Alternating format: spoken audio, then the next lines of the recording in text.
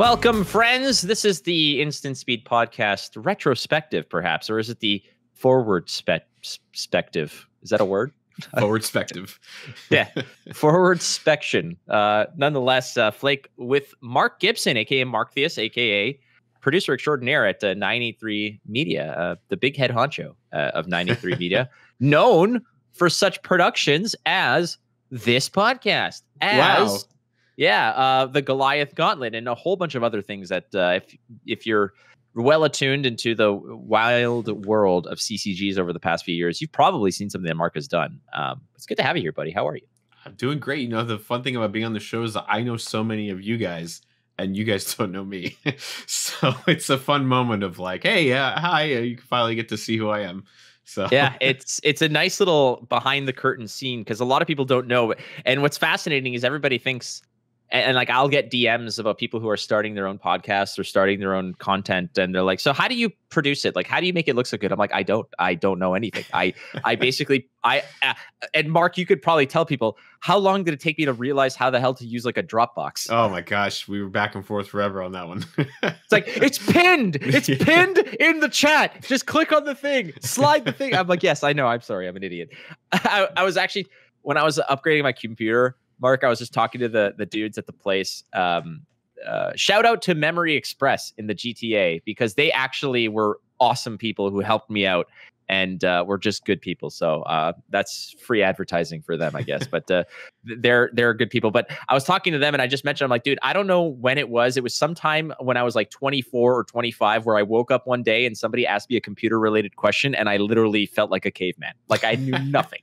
Like it, it was literally me smashing two two rocks together to make fire, and like, I had you, no you, clue. you built this new PC, right? So, I did. Right. Now, I always thought that the first time you ever build your very first PC all on your own is when you really start to learn how shit works because then the next time you're going to go upgrade, okay, I know how this fits in. I know how everything plugs in. So hopefully this was a good learning experience and you retained some of the information from your building Oh, adventure. Big time. So also, the first PC I ever built was in 2015, and it was actually myself and uh, my buddy uh, Gary, aka the House. You've probably seen him. He's like one of my oldest Mhm. friends. Uh, I adore this guy. Uh, ult- ultimately, he put together my first PC in terms of he basically we talked about it. We went for a few weeks, and he's like, "Here's what you have agreed you want. It's all compatible. I double checked it. Buy the parts. We'll build it together." So literally, we bought. I bought all the stuff. I brought all the components to his apartment, and we like we ordered pizza. We built the computer, and it worked. I was like, I, I was there. I was helping. You know, I was I was like his his son. You know, working on the car. You know, holding the light and and but we got it done and this time i was like how hard can it be i saw him do it i know exactly what to do i i budgeted like two to three hours of my sunday afternoon to do it and like seven hours later it was not done and i was panicking and i was losing sleep i didn't eat it was it was crazy but i finally got it done um and uh, and here we are so yeah. Yeah, it's It- an it's awesome. experience, man. It's a journey. I mean, when I first built my very first PC, I mean, I watched a ton of videos and YouTube videos on on how to do everything. And I kind of just followed along a YouTube tutorial as I was doing it, and that's kind of how I I did mine. But uh I mean, like, yeah, when you first turn it on, it's always like a hold your breath moment, and it takes some, you know, troubleshooting. I, I when you were saying your issue, I thought it was actually maybe a power source thing. Like you didn't have enough, you didn't buy a big enough power source to to power, like, because those those 380s, man, they they take a lot Oh. of juice. Uh, Yeah. I had that problem myself when I bought the 3090. I had to buy a whole new power source because it just wasn't getting enough juice. Uh, well that's Crazy. what i was worried about like frankly i i went through the the gauntlet of it, it's funny because like i wouldn't I, i'm not by any means this is not me blaming house for anything but we went through everything.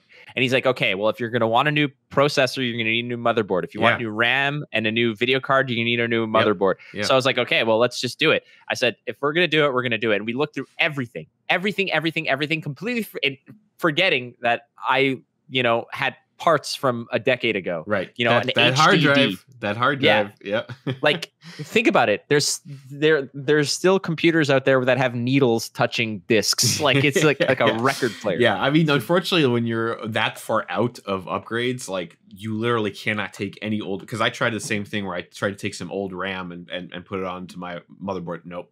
When you're that far out, you just you have to get all new components because those motherboards just can't take those old things. And I mean, it but now you're now you're upgraded. So next time you're ready to do like the, you're all new. So now you go piece by piece, right? So next time you go, okay, I need some more RAM. Now you just upgrade the RAM. I need a new graphics yep. card. You just upgrade that, right? Oh, it's all and done. So yeah, so now it's like it's easy. Now instead of waiting seven more years, you could just you know little pieces upgrade as you nope. go. seven more. I will see you in 2029. All right, when I'm sure. going to look at my next uh, computer build. Uh, it, it's just funny because like this like my the way that I picture my computer, it's like Frank Costanza, and this everything was going well until I plugged in the HDD, and it's like, what are you? What are you mind? Just like, okay, I'm sorry. I'm you, you reminded me of the episode where they're selling computers. Hi, you want to buy a computer? Why not? Why not?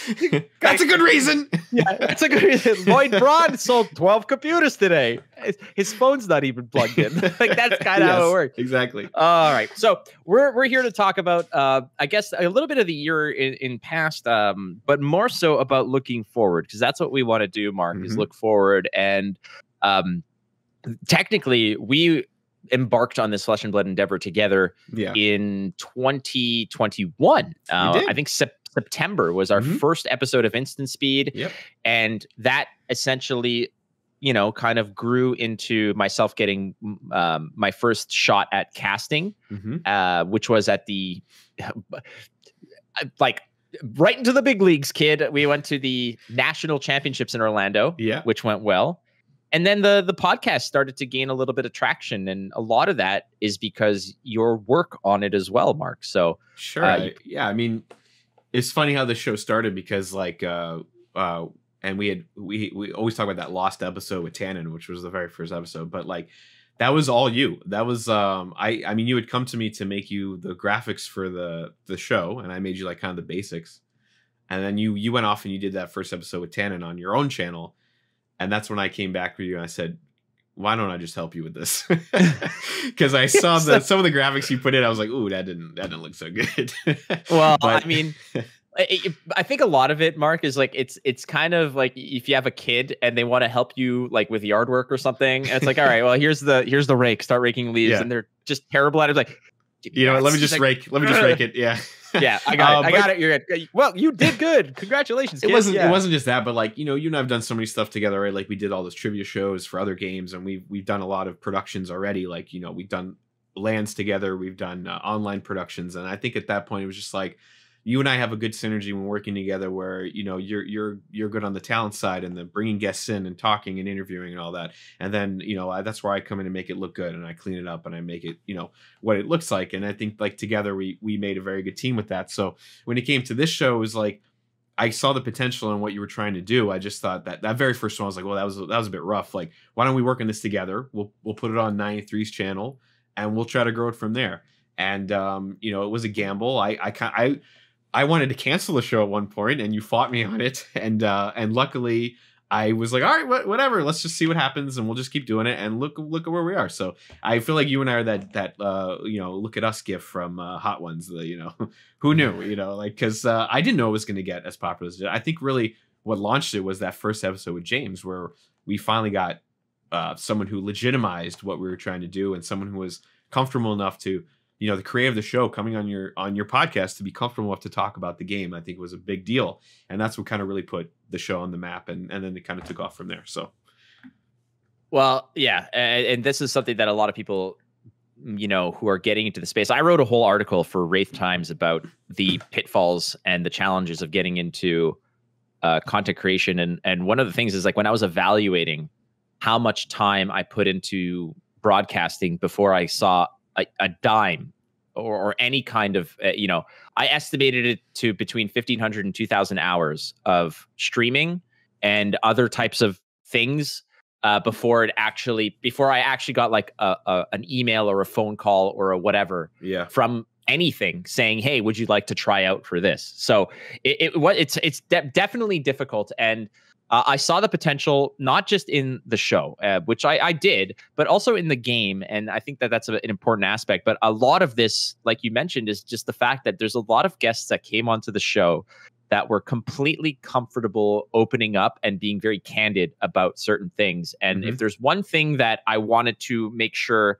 this show was about, was that it's not about me. And obviously, you know this. I have a big personality and I like to talk, but I wanted to make sure that the show was about the person and the topic that is coming onto the show that we could dig into that because people have stories to tell. People have opinions and standpoints, uh, or they have, you know, and and they not maybe not always have a platform, but I want it to be a place where people can go and really pump the tires on their own pro- projects Yeah. and whatnot. And um, a, a big up to like big ups to people like James White, like you mentioned, who not just uh, James was a lo- so- was somebody who surprisingly to me, Mark, was somebody who was listening to the show already, Yeah, and, and we found out Yeah. the whole office listens to it, which was really shocking. But I think we Yeah, were that- at the time we were it was us and Arsenal Pass, and I think maybe one other show. So there wasn't really a lot.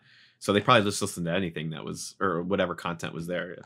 Yeah, the the space wasn't necessarily as populated as it is right now. However, you know, back in 2021 when we were amidst a, a handful of podcasts, now there's you know dozens of them, but uh, we were out there and people appreciated. And like you said, when James came on, the one thing that I really, really appreciated in terms of feedback was a lot of people were saying, "Hey, this is an action. This is a, this is not an ass kissing interview. This is not Mhm. a oh my god, I love you kind of interview. This is actually asking." Hard questions and asking important questions that the community wants to know about and you're not you know pussyfooting around them Yeah. in order to you're not here to make friends you're here to get to get answers and to get whatever and uh, a lot of that credit goes to these guests who were asked difficult questions who came up with honest answers and i think that's what also uh, you know endeared james to people was that his willingness to go on these shows to be asked the, the tough questions and to and to admit the shortcomings or the the missteps that he or LSS had made up until that point because it's a it's a learning curve for everyone. So Mhm. that was a, a big deal for us. Yeah, we also prepared for that episode for a while. Like we knew it was coming, so we we had been preparing for it. We had uh you know pre we we sent him. I believe we had sent him questions ahead of time or what we were going to Yeah. talk about to make sure we weren't going to like hit any sore spots. But like the refreshing thing about that is he was very open. Um, I think with most of our guests, we tell them like, "Here's what we're going to talk about. Here's what we want to say." Yeah. and and most people are very cool with it. And um, what set us apart, I think the reason why he, I, I I don't know if James has been has he been on the other shows. I think he may have. I'm not. 100% Yeah, sure. James James has been Uh, on uh, a few other podcasts. Yeah, Right. So I think what drew him to this one and why he said yes was um I, like at the very beginning there was Arsenal Pass who was very focused on the I don't want to say esports because that's not really what tabletop is, but more focused on on the on the competitive side of the game. You know, it's uh you know with Hayden and and uh, and Brendan and they talk way more about like deck teching and things like that, and like that's what makes that show like so good.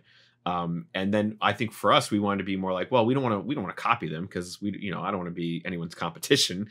There's no, the, the space isn't big enough for that. So like, that's why I like that we focused more on the person aspect and let's get to know people a little bit more. Let's bring on like Tarek or Matt Rogers or something like that. And, and just like get to know who they are as a person, how they got into the game. And all my, my favorite parts of most of these episodes have been the origin story, uh, as you called it, because it's so interesting to hear what games they came from and how they discovered Flesh and Blood and that's always the most fascinating part. So I think like that's really what kind of attracted James to say yes, and and then we had him on again, and then we did the Q and A, and then like you know we we've had him to like, hey, well we'll make your show like the state of the game situation. So it's been kind of like really cool to to be that uh show for the community, um and yeah, I think that's like if anyone out there listening who wants to start a Flesh and Blood podcast. You got to find your unique angle. I think that's the that's the best way to do it. yeah. Uh, and again, like when you mentioned like the competition and whatnot, like when it came down to Arsenal Pass and us, it what's interesting is like I've had multiple discussions with Brendan and Hayden, and uh, we are all great friends. And I, the one thing that I sincerely, sincerely appreciate about this community, and and you can probably echo this, is that we have been in the other community spaces Mm-hmm. where other content creators or other entities that make content don't want to collaborate, don't want to support, Yeah. don't want to have anything to do with people who are in their territory, as it were. It's not the case here. Um, we're not in competition with anybody, you know, or, you know, we are and we aren't in that degree, but we don't feel like that's the case. It's not like, you know, uh, you know, uh, Fresh and Buds or Flesh and Pod or Arsenal Pass or any like we're not out there being like, oh, screw those guys. We need to steal their listens.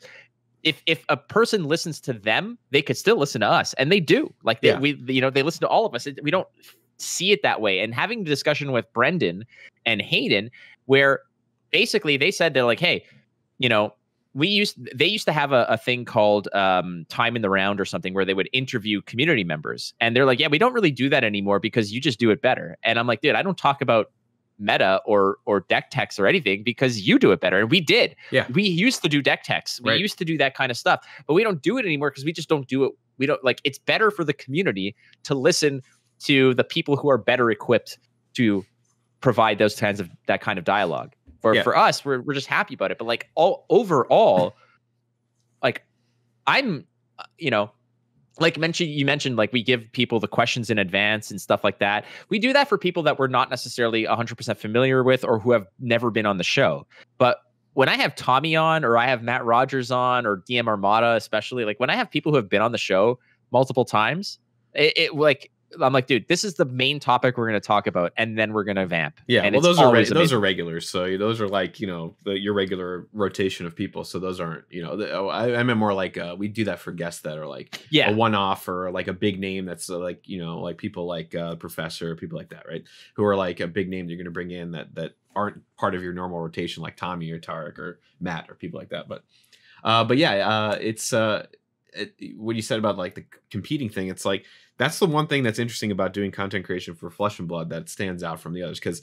Uh, one of your favorite sayings you used to tell people is that oh uh, oh Mark he probably produced a show that you you didn't even know who he was but he probably produced a show you watched and I always laughed at that but it's like I looked back at my uh, resume over the last few years like I have worked on like every game Yeah. I've done something for pretty much every card game and the one thing that stood out with Flesh and Blood and why I love doing shows for Flesh and Blood and why I enjoy the people in this community the most is because it doesn't feel like I'm competing for your views. It doesn't feel like I have to create something to be better than somebody else.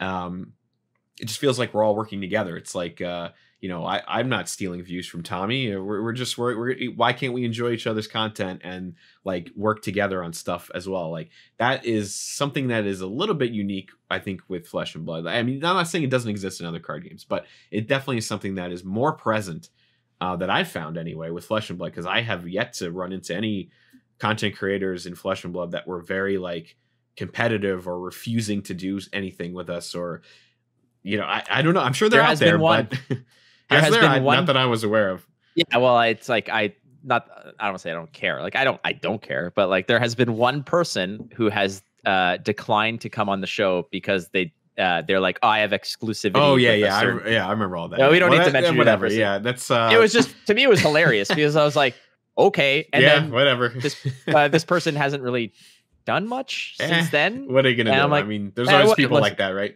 but like oh it- yeah, I'm not going to hold grudges. We just move on. Yeah, but when we've done other stuff, like I won't name specific shows or anything like that, but like when we've done uh, content in Magic or when we've done content in Gwent or uh, Hearthstone or whatever, there's always been that feeling of, well, I have to do better than my competition, or I have to uh, take their idea and do it better so people will watch my version or do more techie stuff, especially Magic. Like if you're not doing deck techs, if you're not doing deck lists, you're not doing gameplay.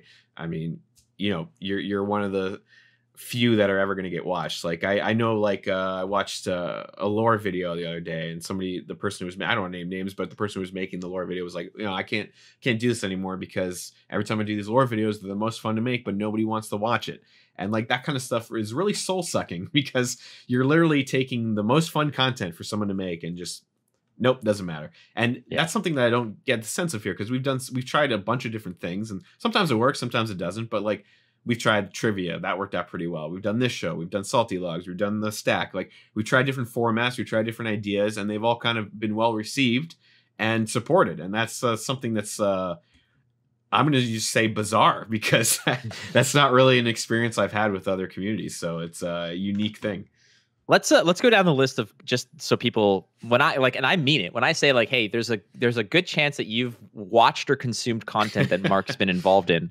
Um, I'm gonna run down the list of, of games and you just say yes or no that you've you've done content right. for this. all right Uh, all right, so obviously Flesh and Blood, yep uh, Gwent, yes uh, Mythgard, yep Magic, yep uh, what did I say? Um, geez, uh, uh, KARDS, the World War II card game, Oh, big time. Yep.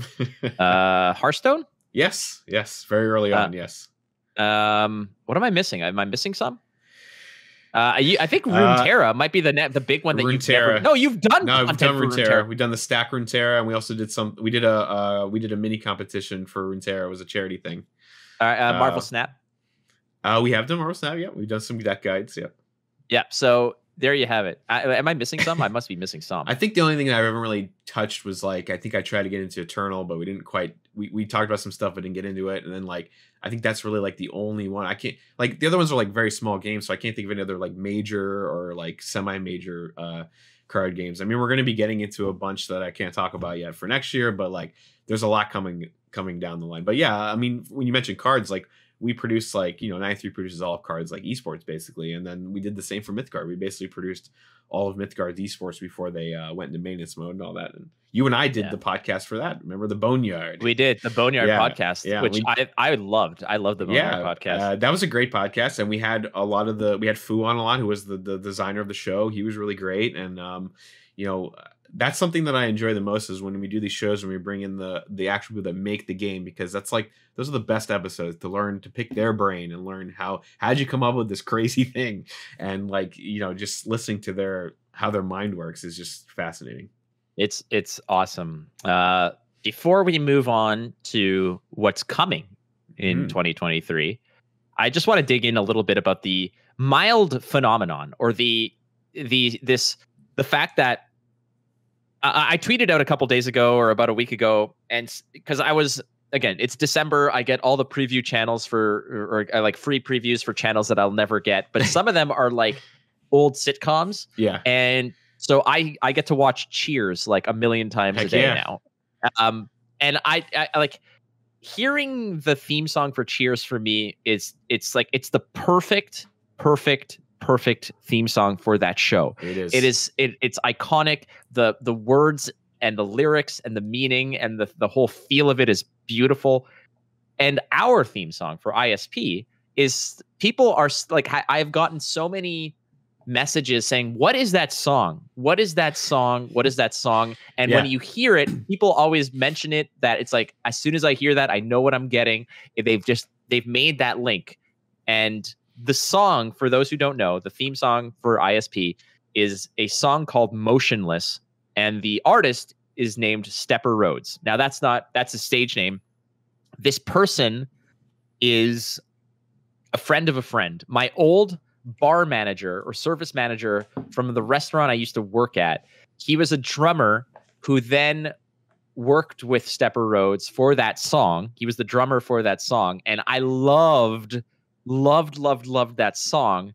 So i reached out to this person stepper rhodes just messaged him like hey you don't know me. I'm a big fan of your of this music. I'm friends with so and so and so and so i am starting a podcast. I need a mm-hmm. theme song for it. I'm asking for your permission and for the rights to use this on the show uh moving forward i just need you to in in writing say that you're allowing me to use this for this purpose yeah and he's like, absolutely, like no problem, and whatever, and this and that, thinking that it would have been a throwaway. And then I send him every now and then, I send him like screenshots or clips or whatever, uh, or messages that I get, and then the views from some of our bigger episodes. And I say, like, dude, everybody knows your music now. Yeah. Like everybody knows this song. And he's like, holy shit, like that's pretty cool. And what's fascinating is that uh, I'm not saying that we inspired him to do new music, but he's like, dude, he's like, I'm I'm starting to write new music now. He's wow because I asked him if he can be on the show to talk about it, and he's like, you know what?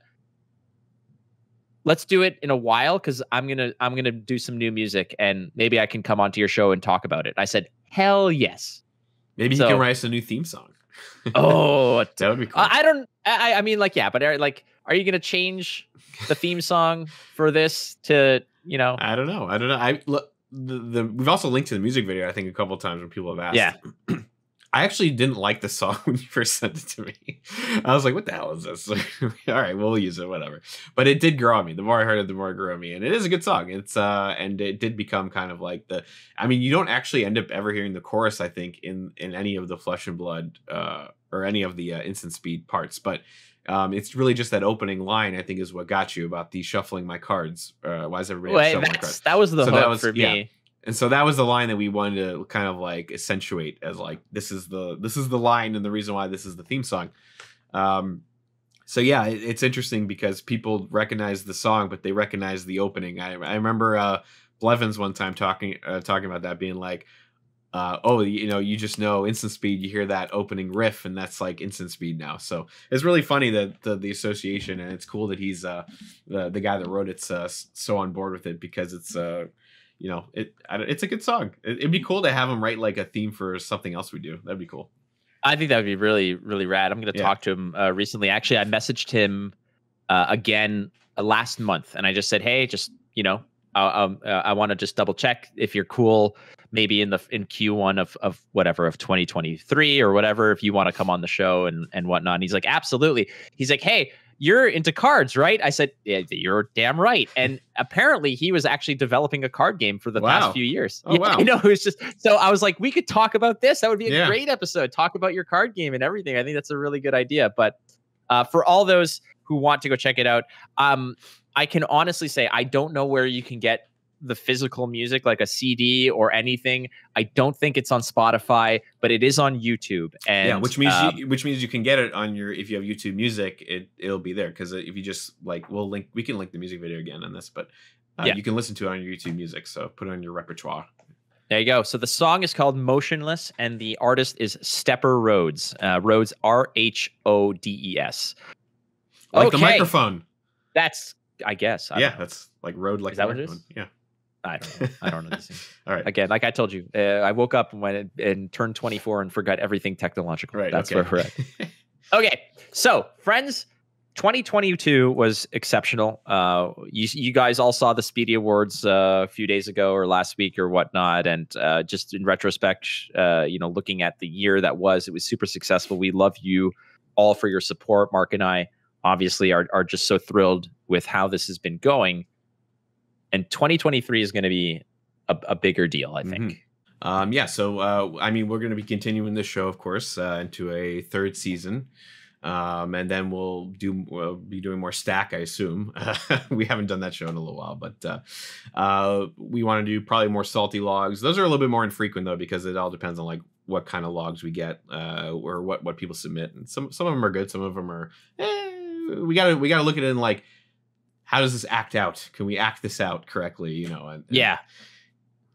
The tough part about Salty Logs is just getting the submissions. Yeah. Um, a lot of people, no offense, I, I, I honestly I appreciate all the submissions, but some of them are just they're not that like it's just somebody, you know, uh, playing a, a, crippling crush and then somebody disconnects. Like it's, yeah. I get it. They're salty. They rage quit. It's not, it's not dramatic. It's just them being. Yeah, we're looking for losers. someone to be over. We're looking for people being overly dramatic about their situation. That's really like what's gonna yeah. like hit it. Like someone who's just like they've literally been sitting here all day and they've just hit their end of the rope and they just like lose their mind on the next person they play. That's has done nothing wrong.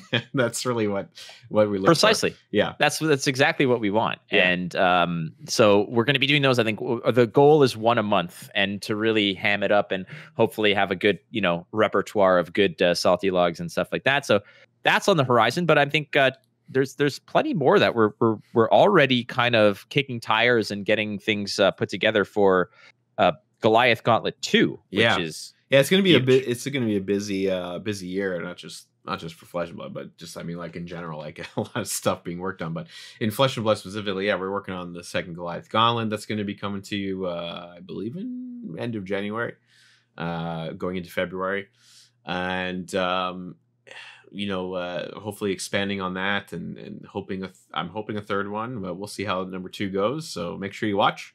And uh, uh, you know, there's some other shows we've talked about too, like uh, maybe trying some like uh, what, was it called? Uh, Pit pit fire pit what was it what's the uh what's the group thing what's the group thing called again? Uh the the pit fight? Oh the ultimate pit fight. Oh pit fight yeah. Well, I was, yeah. I was thinking like spitfire for some reason. I don't know why i was going you could road, call it well, you've been uh, playing too much KARDS yeah man. too much so. car- world war ii KARDS yeah. Yep, that's it.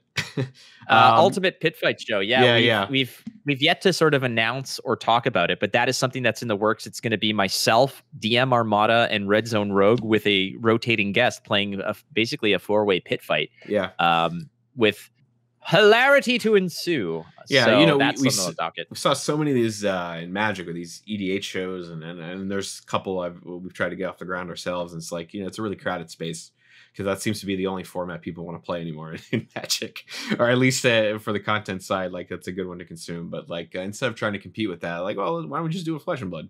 Let's you know, let's do it that way. So I think that would be really fun, and uh, I I would also really like to uh, bring back the trivia. Maybe Flesh and Blood trivia, or so you think you know Flesh and Blood. So we had another show for a while called "So You Think You Know The Witcher," which did really well. We had we even had Doug Cockle on, who's the voice of uh, uh, who's the voice of uh, Geralt.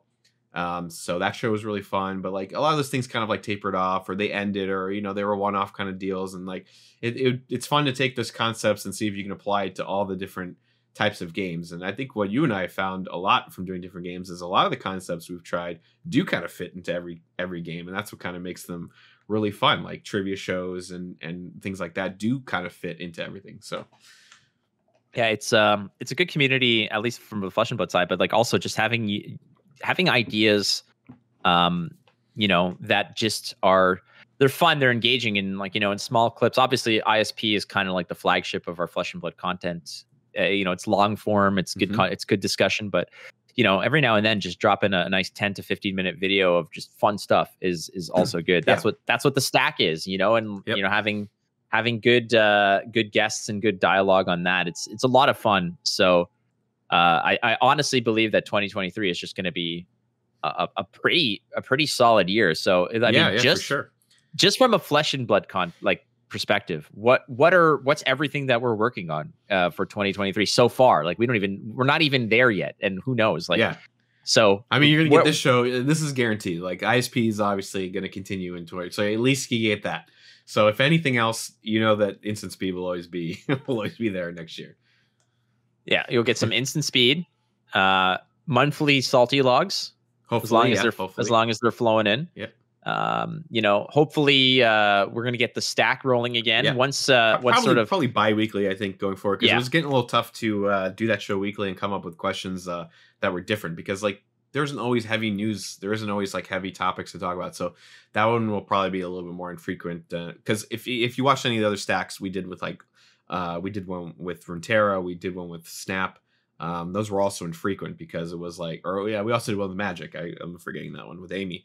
Um, yeah, they need to be infrequent, otherwise they're, you know, it's a little too much. But and the last one, yeah, like again, then the bigger picture stuff, like Goliath Gauntlet. Um Yeah, Goliath Gauntlet's gonna be huge. yeah that's kind of um that's kind of like the focus i think uh moving in well for for 93 specifically like the the focus moving into next year is more on tournaments and invitationals and things like that because that's that's really what 93 was created to do was to run uh tournaments and, and invitationals and put on these cool productions like we did for goliath Gauntlet. and that was a really good example of um uh, kind of the whole reason why 93 is a thing was to put on an event like Goliath Gauntlet. So um, doing more of those, I think, is a is a is a focus moving forward. And and also uh, i also wanted to just say briefly because i see this comment a lot whenever we post like magic or something like that that isn't flesh and blood. Like look don't don't lie to yourself. I know that you don't just play flesh and blood.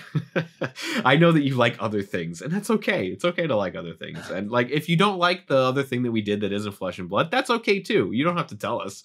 Like you know not, this isn't an airport. You don't have to announce that you're leaving. You could just be like oh, i didn't want i don't want to watch that. You know how many channels there are where i don't like every single video they post but like you know uh like hot ones is one of my favorite shows on youtube and that's the only show i watch on first we feast so i'm just saying like it's okay to just pick and choose But hold on a second. So you're saying you don't go to other shows and tell them that you do not like them? I, I I haven't yet done that. I I don't know Yeah. what compels people to do that, but It's uh, either way. Whenever whenever there's like a negative comment, my favorite thing to be is it's like, hey, thanks for adding to our view count. Like, yeah, awesome. yeah, exactly. Much there's, appreciated. there's also uh, I will address an elephant in the room for anyone that has watched the um has watched the Dungeons and Dragons campaign that Merchant did. Uh, the the uh, his group, uh, Guild Gates and Goblins. There's a final episode that has never come out that has been lingering, and I all those people that who who watch this show that I've also enjoyed that content. I just want to let you know that don't expect it in 2023 either because what ended up happening is everyone kind of like their life got really crazy and it was really hard to get them all together for that last episode so I don't know if it's something that's ever going to actually happen. I think it's just a campaign that's just going to end on a lingering note. But if I can get them all together for the final episode, I would love to do that. And so, you know, we'll cross our fingers. But but like, because everyone keeps commenting, when's the last episode? When's the last episode? I don't I don't know. I don't know if it's ever going to be a thing. 2023 is like uh, it's like it's so 2023 is like 10 days away. It right is. from the point of that we're recording this, which Yes. is we're recording this on the 21st of December. By the time Yeah. this is published, it's probably tomorrow. Who the Yeah. hell knows? I I don't know. That that said, you got a whole 12 months, 365 days to figure this out, Yeah. to get a few people together. It's a lot harder than you think to get that. They're all very busy, right? Like they're all, they're all like, uh, I, I mean, especially like uh, Lavinia's like uh, got a whole new job. Like she works like for Magic Arena now or something, and like all this kind of like stuff. So like it was really hard to just get them like back together, and because she's traveling so much, and then merchants moving, and it's a whole thing, man. Like it just uh, it turned into a whole thing. So uh, I just wanted to address that uh, finally uh, publicly. If anyone listens to this, also listen, watch that. We'll see where it goes. we'll see how Yeah. 2023 goes. All right. Well, 2023 is going to be, you know, big. We still need to figure out a name for the uh the UPF show that's going to be coming around the bend here. Um, but yeah, uh, now's also a good time. Is if anybody's got you know suggestions for guests they want to see or people to Yeah. play on the UPF show, I really want to do like a Friday night pit fight kind of deal, where we, you know, put it out on Friday nights and and kind. I kind of really like this premiere format because we did it with with Goliath Gauntlet. I think it worked out really well. Where we're kind of premiering the video at like a prime time. So it's like it's live, but it's not really live. You know, it's like we get Yeah. to watch it together live and comment live, but it's not like it's not like we're trying to put on a live show like that way.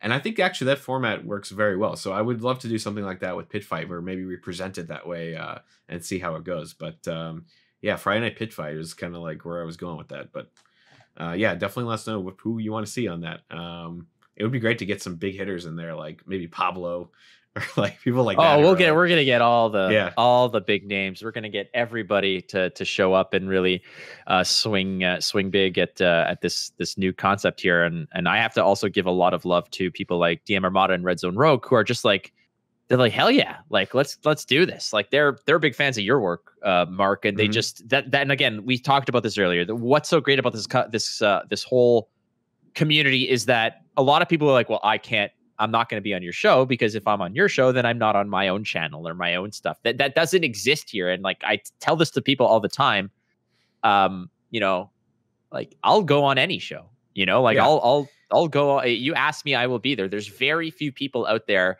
that i would uh that i would not want to collaborate with because i you know again you know me i don't waste band like like mental bandwidth on things i i don't like or don't appreciate but at the same time i'm not going to go out of my way to to collaborate or whatever but that's like a, a point zero zero zero one percent of people out there and everybody else Yeah. like you ask me i'm there i don't think i can count like i think in my life i've ever declined one podcast guest guest spot ever ever Yeah. ever ever Well, and that's it I think collaborating is very important, and uh, not just it doesn't matter what space you're in or what what content you're creating. It doesn't in gaming or whatever. It doesn't it doesn't matter. I think that that's something that a lot of uh, content creators, uh, especially newer ones, are, are kind of missing out on. And when they want, oh, why don't I grow? Why doesn't my channel grow? That that's you're not collaborating. You're not like when you collaborate, you're at, you're now interacting with uh, new audiences that, that didn't know you existed. You're collaborating with people that may want to do it again, uh, and and so like not everyone's going to say yes to you. Like not everyone says yes to us either. You just have to The put yourself out there. uh, Well, that's true. Um, I, I will say this though, it has become a lot easier to get people on the show.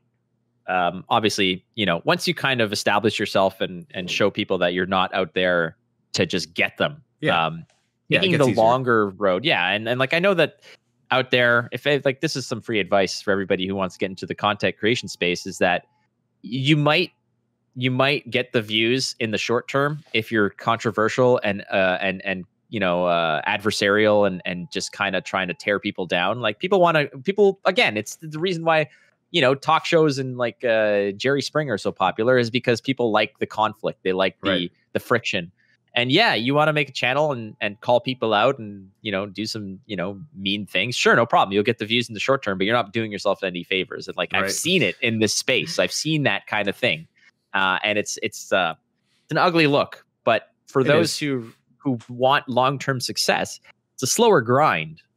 Um you know like you and i have been working on on content for six or you know five or six years together, and nobody knew who we were until like you know like this year kind of yeah, thing, yeah. to a degree so well i think we were it- we were known in other spaces but like is uh, Sure. yeah I- Sure. it, it's funny because uh i used to stream and and stuff so like uh with I miss your so, streams, dude. yeah well it, once the music stuff kind of went away it was like it wasn't as fun for me anymore but also like when i started doing this and i started 93 like i just it took away too much time so i was like i want to focus on this instead and I was I've always been a behind the scenes guy. I went I went to film school. I wanted to always be behind the scenes, and I had worked in TV for a long time doing behind the scenes. So like that's kind of where I thrive, and that's where I have the most fun. So I wanted to step away from being in front of the camera. But it really was funny when I went to first pro tour and like I saw Red Zone Rogue for example. I was like, oh hey, hey how you doing? And, like I greeted him like you know he's a friend, and he just was looking at me like. Who who are you? it's like it took him a second until and then I told him he's like, oh yeah, okay, right. But it was like I realized like that new that pro tour in New Jersey was so funny because so many people, like I said, that I knew and I and I went up to and said hello, who just absolutely had no idea who the hell I was, either because they had never seen my face or they've only heard my voice or they've only heard my name, and it was really funny that it was a weird feeling, like like knowing all these people who have no idea who you are. It was a really bizarre thing, but. Um, that that has kind of subsided now as we've kind of like uh, as I've kind of uh, talked to more people here and there. But uh, that's why it's nice to finally be on a guest on the show that I, I helped produce to to uh to kind of you know break that veil. Uh, yeah, it's it- that's something you you don't experience because you're always in front of the camera and you're always uh, uh, yeah people people will recognize me and know things and, and whatnot and but it wasn't always that way but we appreciate it and then that's what matters it's uh, without yeah. Well, you get the other listen- side of it. You get people that say, "How'd you do that thing?" or "How'd you do that graph?" or "How'd you edit that video?" And you're like, "I don't know.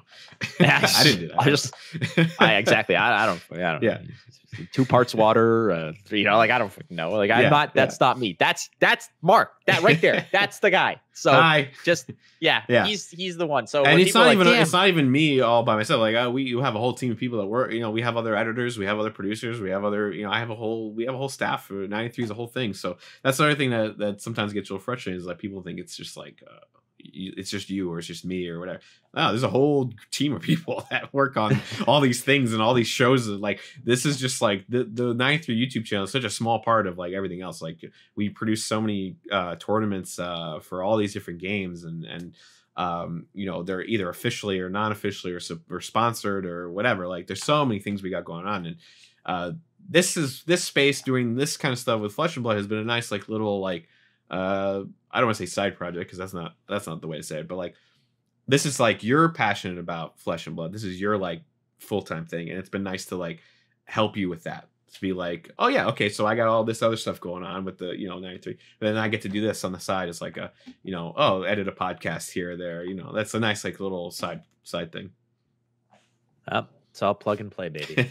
Yeah. I, I say that because for me, I don't have to do anything. I plug the the raw video file into a Dropbox, and then two days later, it's magically produced and it and it looks great. So that's Yeah. that's a not that's a not honestly for thing. me though you do the hard part in my opinion because the, the part that i do is easy for me. But to me the hard part is the interview. I, i'm not a good interviewer. I'm not good at booking guests. I'm not good at you know that kind of thing. So for me that's the hard part. So that's how we complement that's how we complement each other with this kind of thing hardest part is just working with Tannen. What a doofus. what a guy Jeez. What a guy, Tannen. All right, no, we love him. We love him to death. But he is he is um he is like how do I how do I uh how do I describe this? He, Tannen is like is like having two monkeys but only one banana. Like that's kind of what it is. It's just this giant chaotic kind Yes. of like who's in charge, what's going on. Yeah at the end of the day, he's he's he gets it done. I Tannen, I like Tannen very much, and in person, Tannen was very much like that. Where it was like a lot of like Tannen, hello, hey, hey, hey, hey, look here, look here, because he's just all Yeah. over the map. But uh, that's what you that's what you gotta love about him is he's very passionate, very very passionate, and that's Yeah. that's what makes you can see that in with the way he he like he gets very like either upset or happy or whatever, like because he's so passionate about it, and that, Yeah. that's why. I will say uh, every time I've ever called on him for a favor or to do something, he was the first guest on Instant Speed. He didn't have to do that. He didn't. He didn't know who the hell I was. So I will always uh, hold that dear to my heart. Is the fact that when I was trying to break out into this space and I started that podcast, I started Instant Speed, and I was like, I need a good guest to start it off. Let's get like the lead caster from what's going on and let's Mhm. just see where it goes. Because if it was just me talking to you know Joe Blow Saximo, uh, who whatever, nobody would listen. But the fact that you get somebody with at least some some you know some clout, some interest from the community, and that then was the first domino that led to having people like James White or the professor Right. or you know Matt Rogers, et, et. So Yeah, the professor it- was a long time coming too because we tried to get him really early on, and he didn't say no, but it was like a, oh, I'm not, I'm not, I'm busy until this time, and then when that time came around, oh, I can't until this time. And yeah, it, I don't know if I don't know if he was doing it on purpose or not, but it was like definitely like, uh, we're gonna get him eventually. We're, we're gonna get him on the show Yeah, eventually, and finally at the end of the year we did.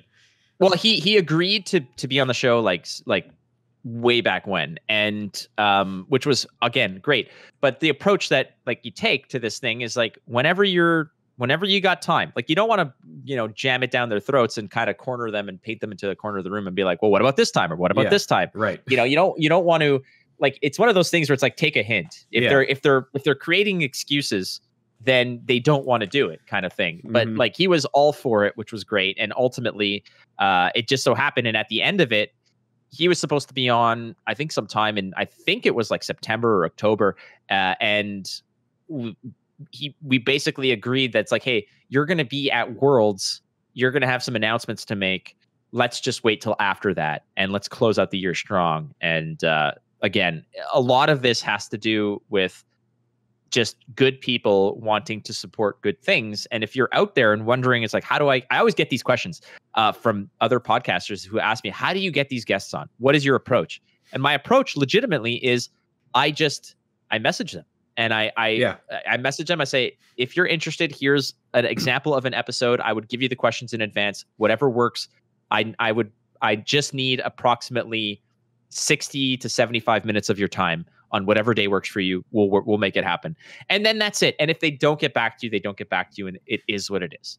Um, I'm lucky enough to say that everybody I've asked has essentially said yes, and I'm so thankful for that. But it's also it's also uh it, and it doesn't seem like it matters but i'm I, I assure you it does is a production value side. I i highly doubt that people like james or or the professor would have said yes had the show itself looked not great or been presented in a way that like didn't feel it like just felt cheap right? Because they don't want they're also putting their name on it and they don't want to be associated with something that seems like like if we if we had that kind of show that you talked about where we all we talk about is drama or uh it was like really bad video quality or you know just there was no like effort put into it at all. And all we talked about is drama or whatever like no they would definitely not want to probably be on the show because you don't want to associate yourself with something like that. So like if you're if you're looking to start a podcast or even any of the podcasts already out there that are looking to improve next year like i implore you to look at shows like this or shows like arsenal pass and and take notes on how they present it and how um, how they edit the show how how their cameras look how their microphones sound how all that kind of stuff. And there's plenty of resources out there that you could like go to to learn like how do i optimize my audio? How do i uh, you know uh, what's the good editing software to use for video? And i encourage you to learn and to and to you know uh, or, or get yourself an editor who if you can afford it get yourself an editor that can help you with those things because seems like not a big deal but it does go a long way and that's the reason why this show is where it's at because we took the our expertise and our experience and our background and we put it together and that's how we made the show look the way it does and that's how we got people like you know james to say yeah sure i'll be on your show that's how we got the whole lss office to listen and watch the show you know I, I will say this though: no amount of money can buy you equipment that will replace either a bad premise or not being prepared. Uh, Yeah. If there's one thing I can honestly say, and the other thing about it, and and this is all this is, you know, most of this is is from you, is just being open to to constructive criticism oh absolutely and improving. Trust me, nobody is harder on me than Mark when it comes to um well we know each other well enough that i'm not afraid to tell you if Yeah, something no. sucked or hey you got to change this or whatever because like yeah Yeah, I mean, look, you. I think you're a great interviewer, but there was definitely at the beginning it was a little bit rough, and we, we talked about how we wanted to, to focus on the guests and everything. So I wasn't afraid to tell you, stop talking. Yeah. Flake, stop talking so much on the show. It's it, let the guests speak. well And- that's that's and you know no, you don't get mad about that. Then that's important. Like you have to take that criticism and then you know apply it. And as you saw, it got you know the interviews got better and the and the listening got better and you know so it Well, improved. for the professor uh, interview, actually, there was a nice comment I got from somebody who said, "Hey, I really appreciate you giving the professor all this time to properly flesh out their their comments." But like Yeah. that wasn't always the case. The first ten episodes of this, I did. Yeah, I like in my mind what I thought the podcast should be versus what it it should have been were different, and Mhm. um and a lot of that had to do with the fact that it's like okay like you need to understand what your what people want and and sort of tailor it to what it is. You know what is your podcast? Is are you interviewing this person and getting their ideas or are you trying to make this about you? And once you kind of realize that it's about the community it's about the guest and whatever you kind of give them a little bit. Now obviously i'm gonna you know sprinkle some of my personality in there like i can't not do that. Of course, much but like the I used to tell you, they're no, you're not tuning into Instant Speed because I want to watch Flake. You're tuning in because of the most new viewers are going to click on it because of the person that you have on it, and they're going to stay because they enjoyed the interview you gave, and they're going to be interested in the next person you have on. And that didn't mean that as like nobody gives a shit about Flake. That just means like that's not the real reason that you're going to want to click on the show, right? It, it may for some, sure, but it's not going to really be the main reason why people want to watch it and uh, so that's like something to remember too if you want to do shows like this like it has to be if you're gonna have guests it's gonna be about the guests. If, Yeah. if it's like arsenal pass where they don't really do a lot of guests it's not really about uh, hayden or brendan either. Their show's about the metagame is about speaking about deck techs and they, that's the focus. And so you know eh, coming off of streaming i think and for you this is why it was difficult at first. When you're streaming you talk a lot and you have to fill the void by yourself. So there's constant speaking. You have to, you know, right? You're constantly filling that void. When you start doing a show where you have a guest on, you still feel that urge and need to have to fill space constantly. But when you have a guest, you don't do that. You just, you know, they're filling the space for you. So it's it's a hard thing to get used to, I think. It is. It's definitely a hard thing to get used to. And one of the people that I've come to greatly admire in this space and of this craft, frankly, and, and this is somebody whom I've adored for like decades. It's Conan O'Brien. And and Conan, since he no longer has like his like Conan in the 90s and early 2000s was untouchable in Mm. terms of the kind of comedy and and and what he did. But his comedy was great. He was the star of the show until the guest came out. But what he has immensely refined himself as over time is a master interviewer who makes the guest feels so comfortable, but also gives as much like the guest is still the star, but the way that he injects himself into the conversations is not overbearing. It all it does is support, guide, and improve the the what the message is that the guest is is putting on there. Like Yeah. he is, in my opinion, somebody who I I aspire to be like one day is to have that kind of skill set and and seeing him from late night, you know, where he was bringing out the most ridiculous characters like FedEx Pope and the masturbating bear and Yeah. you know and like Cyborg the Jewish robot, you know, like right, right. like all the way to where it is now where he is interviewing like Barack Obama and all these people on his podcast, which by the way, it's called Conan O'Brien Needs a Friend. I listen to it all the time Yeah. Because it's it's it's a masterclass of like how to be entertaining, how to be yourself, but also how to properly um, interview somebody insightfully, comedically, and you know Absolutely. without being overbearing. So Also, that's not- kind of where I'm if you want to do a podcast and you're not listening to other podcasts, I mean, like you, you have to in order to get a sense of like how to, you know, how to do it. But also, uh, and I've this is gonna be like the fifth time I've referenced this, but I think also one of the greatest interview viewers is Hot Ones. Like if you watch Hot Ones, the way he interviews, the way he presents the questions, the way he gives the guest time to speak, and everything is just very well timed. And I know a lot of that's editing, but it's presented in such a great way. And there are other episodes that he, there are other shows that he does that are full like podcasts like this, and you could hear him speak in that way as well. It's very similar to what you're saying, how Conan does it. And it's I uh, that's a really like he for me he's up there as like one of the one of the great YouTube interviewers for sure. Asking good questions isn't easy. It's not- because well you've seen it i've seen it one of the most like painful things for me to witness is when somebody asks somebody how you feel. uh, how do you feel yeah. like you just won this tournament. How do you feel? I feel like shit alex. Like what do you what do you what do you meant to say there? And i get it. It's like you want to them to express their emotion at that point but just saying how do you feel? is like you know asking somebody who walks into a restaurant are, you hungry? Like, yeah Yeah. yeah, yeah. Yeah. a pretty good uh, Yeah, that's, pretty uh, good assumption there. that's also my my biggest pet peeve. So when I directing uh like we just did the KARDS World Champ KARDS World Championship and stuff, and that was one thing I kept telling uh, uh, our hosts and stuff. I was like, do not ask the player how they feel after they won because that is the most stupid question you could ever ask somebody. Instead, present it. Hey, you just you just won that you just won that game. That was a pretty tight game. What are your thoughts on how the final went? That's how you present a how do you feel question without asking them how they feel because they're not going to go, "Oh, I feel pretty good." And then it ends there. They're going to give you their thoughts on, on how they felt about that, how they, you know, oh man, you know, I was really upset because this happened, this happened, and they're going to expand on it, right? Just from that simple phrasing alone, so like I'm right there with you. How do you feel is the most annoying? And I still see professional casters on TV do it sometimes. I'm just like, oh, it's such a crutch question because you didn't, you weren't prepared, you didn't know where to go, so you immediately went to how do you feel? And then the other one I hate is how are you doing today? Why are we asking how people are doing? Who cares? Let's get into the topic of the conversation. well, the way I kind of envision it is like you have a destination that you want your your interview or your your guest to get to how they get there is not is not like you don't care. You don't care if they take the highway, the back roads, the helicopter, or they or they, you know, eh, yeah, a magic carpet. It doesn't matter. But they need to know the destination.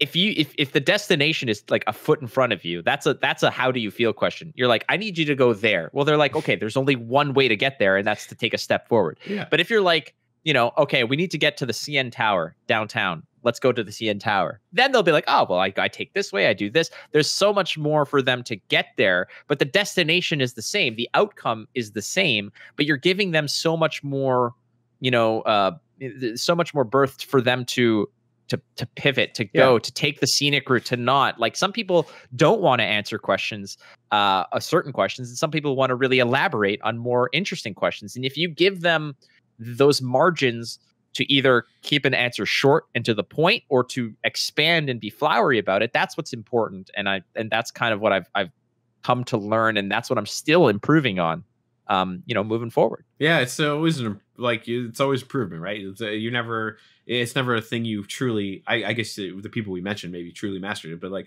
it's always uh, something to improve upon and and um, also i always tell people if you don't if you're not watching back your own content as well just to take notes on how you did like that's an important step as well. Like I watch back everything we produce and I take notes on, oh, I made we we should change this next time. We should produce this next time, or I take notes on how the interviews go, or you know, that's important. That's a you gotta um one of my favorite phrases that people use is you got to do the work, right? You want to succeed in doing something, you got to put the work in to get there. You can't just throw something up and expect it to work and then get mad when it doesn't because well, did you put the effort in? Did you put the work in? Did you try to improve? Did you you no, nothing you put out is ever going to be perfect. So you have to like constantly make adjustments. Even with our Goliath Gauntlet, right? Like I think it went really well. It was super well received. I'm very happy with it. But there, are, I got a whole list of notes of things that we got to change for next time or improve upon. Um, and that's just that's a part of growing as you you know do this kind of stuff. So very important important things to keep in mind if uh, if you're doing this kind of content. And we're going to keep doing the content into uh, 2023. It's going to be a great year ahead, Mark. Uh, lots to look forward to, like we mentioned. And yeah, that that's kind of been our like year in year in review into uh, uh, the year looking ahead. Yeah, and I think. I mean, we're again, like I said, we're, we're recording this on the 21st of December. I think we're you and I are are well deep into a nice deserved break. Oh yeah, because yeah. so I, I haven't taken vacation all year. So yeah, so take you just got off. married, so you got yeah. a whole lot of catching up to yes. do on a whole bunch of stuff. Uh, Oh, yeah. All right. Looks um, like I wore my lobster shirt for you today. Is your I favorite? Know. This is my favorite shirt of yours. That I was like, I don't know if it fits anymore. Doesn't matter. It has to bust it out. Yeah. No, it's it looks it looks it, that is my favorite thing. We used to do yes. all kinds of like trivia and stuff, and you were always like, in this like one, and said, also the pizza one, the melted pizza shirt I had. That was the other one. So good. Lot, yeah. yeah, but I'm glad that that that made a. Uh, I'm glad that that made an appearance. But all right, well there you have it. That's it. You know what's coming up. You've met Mark and um, I think we'll uh, we'll we'll we'll end this with a nice little montage of all the guests, all the guests that we've had in 2022. Does it sound oh, yeah. good? Sounds great. Right. Yeah, we've had so many great people. Let's take a. Oh, we'll we'll present it in the way that the Academy Awards does it when people have died. So this way, a, mem- a memoir of all the people. Oh my god! No, I'm just kidding. You... We're not going to present it like that.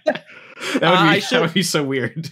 I, I should also uh, give big shout outs to uh, essentially uh, all the um, all of our sponsors that are with us currently. Oh yeah, Um, for sure. uh, I want to give a big ups to the Realm Games. Uh, I want to give huge ups to obviously Kayfabe Cards, uh, to BCW Supplies, Mhm. and uh, to everyone else who has kind of contributed down the line, uh, perhaps in the future as well. Uh, there's going to be more, and uh, you'll see plenty other partnerships and, and wonderful things. Yeah, So B- BCW took a big chance uh, very early on with the show, so I, I especially appreciate of them. And uh, if you've used the discount code that we always advertise, um, that's that helps us a lot. So uh, you can still use it; it's always there, it never never expires. ISP ten. I'm I know I'm plugging right now, but like if you want to help support the show, I mean, you can't you can join our Patreon as well. But if you also want to support in other ways, you know, go get yourself something nice of BCW. They got so many great stuff for like all the you know c- card collecting you do not just even for like comic books and stuff. They have like dude, for comic books, man. Yeah. i keep mine in sleeves as well. So anytime i get a new comic book you know get get some more sleeves from bcw and so you know use that code get yourself 10% off and that helps us. We get a kickback from there. So um any every time you do that and so many people used it this year a surprising amount actually. And so i'm very you know thankful uh thank you for uh supporting them and supporting us and uh it's a nice mutual benefit Definitely. And hey, if you're in Toronto or you're not in Toronto, um, check out uh, Hairy Tarantula as well. Uh, if you're in Toronto, use the code Flake5, get 5% off. hey Why there you go. not? wow so many plugs happening right now Why not? I know. That's not what we're getting at, but uh, Isn't that uh, uh, right? Isn't that Hairy Tarantula? He's the, yeah, Dave yeah. Rude. Dave Rude. Yep. Big, big uh, former player. I say big former player. I mean, he calls himself like washed up and old, but it's Didn't what's he funny like about him retire or something at the end of this He said he about retired. retiring, to a degree. I mean, he's kind of like the the team dad for a lot of other really good players, such as like Yeah. Isaac Oh, Cruz. yeah, like he's of these- Isaac's. Yeah, yeah, He's Isaac's dad. adopted dad. Yeah. yeah. he's the team dad. He's just a Yeah. good dude. Isaac, obviously, my uh my app's the bane of my competitive existence. This guy is just like a wraith. Um, uh, the other last thing I want to mention actually is I turned my whole desk and computer around, and now you see what's behind me. And Yeah. I think I think this is much better. I per, I moved into this Taco Bell from the '90s, so I just yeah, exactly. You can Uh, still get a chalupa for like seventy nine cents. Yeah, it's, it's unbelievable. You can kind of see the prices right right there, just slightly. It's just uh, unbelievable. My first, so Canada, uh, at least where I grew up in Montreal, we didn't have Taco Bell for ages, and the reasoning is hilarious because Quebec's meat standards were too high for Taco Bell, so they Yeah, never got there. There's uh, I don't know Um, if you ever watch Food Wars on YouTube, um, uh, but they like they'll compare like uh, McDonald's in the U.S. to McDonald's in the U.K. or something like that, and every time they go to the ingredients list, the U.S. is filled with a whole bunch of weird shit. And then they're always like, they go to that and they're like, well, that's all all illegal in Europe. So like, I remember the Domino's episode, they were like, uh, here's all the ingredients in the pizza dough in the U.S. Domino's, and it's all this like artificial nonsense that's like, you're like, holy shit. And then they go to the UK and it's like water and dough. Yeah. it's like, okay.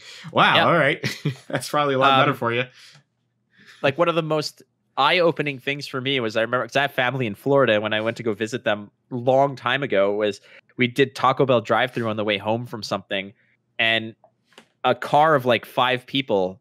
We all got food, and like the bill was like like eleven dollars. Oh, I was like, nuts. Yeah. I'm like, how how? I'm like, oh, those tacos, those soft shell tacos were like like 39 cents each. Yeah. I was like, what? yeah. I'm like, It's crazy. how man. is this? How is groceries better than this? And then I you learn about the dollar menu and everything, and I'm like, okay. That, then Yeah. this past year, uh, Nick Bolus taught me about the biggie bag at, at Wendy's. Oh, the biggie bag. Yeah, yeah, yeah. You blew never had the, my mind. You never tried that? You never got the biggie bag? I before? did. I did. It's pretty amazing. Um, yeah, we stopped off and did some biggie bag action when I was in New Jersey Heck for yeah. the Battle Hardened there. Yeah. Yeah, man. I. I mean, I don't really eat fast food as much. Uh, the older you get, the harder it is to eat fast food. Yeah. But it's still like a go-to, like uh, you know, hangover meal, or you know, a little bit drunk. Like you go to Taco Bell and get like a ton of tacos for eleven dollars. Yeah. Crush it. Yeah. Uh, I might do that today. You got me. I might ripped go- and having Taco Bell later. Hell yeah. uh, could possibly happen. All right, there you have it. All right, we, we, we've extended this way past uh, what it's supposed to be. But Mark, thank you so much for all the work you do for Flesh and Blood, and uh, to all the community and everybody else. Thank you for for watching us. Here is, I was going to say your moment of zen. That's another person I admire a lot is uh, Jon Stewart. But here is a little retrospect of all the guests we had on ISP. We'll see you next year. Well,